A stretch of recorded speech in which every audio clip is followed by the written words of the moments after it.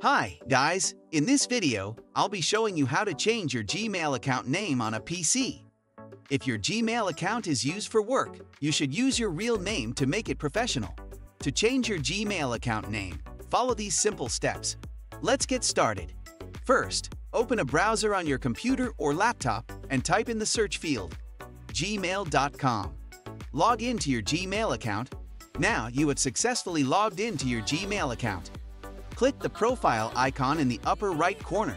This is the display name of your Gmail account, which will be used when you send messages via email. If you want to change your Gmail display name, click Manage your Google account.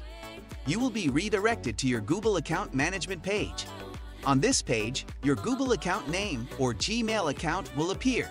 Click Personal Info. Then click your name. Here, you can change the first name and last name of your Gmail account to whatever you want.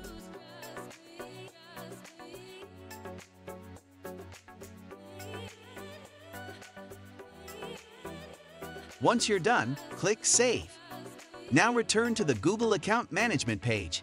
As you can see, the Gmail account name has changed to what you said earlier. If you click on the profile in the top right corner, the Gmail account name will have changed as it appears on the Google Account Management page. Your Google account and Gmail account will use the same name. That's the tutorial on how to change your Gmail account name on a PC. I hope this video helps you.